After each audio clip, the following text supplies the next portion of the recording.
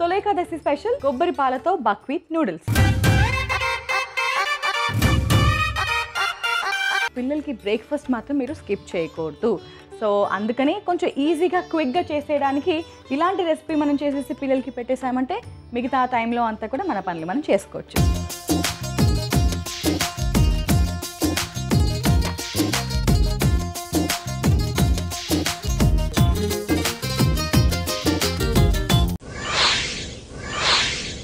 గోరుముద్దలు.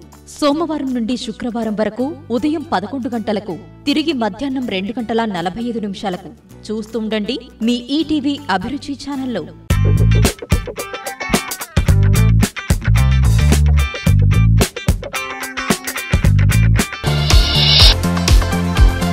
ETV అభిరుచి మీ వంటింటి నేస్తం.